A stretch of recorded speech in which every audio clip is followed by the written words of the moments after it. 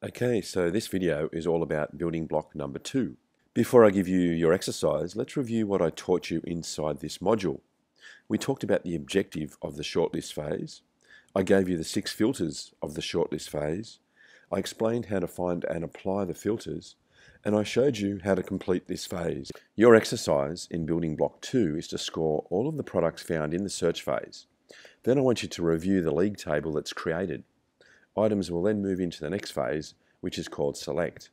I want you to have a closer look at the top 20 items with the highest scores that you will consider in the select phase. Before we move into the next module, I want to give you a preview of what's coming next.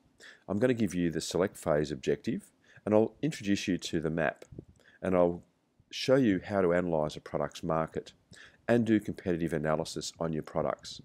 We're going to apply the map to your shortlist table of products so we're able to move a product forward in the process or not. Then I will outline what the gap is and how to find it.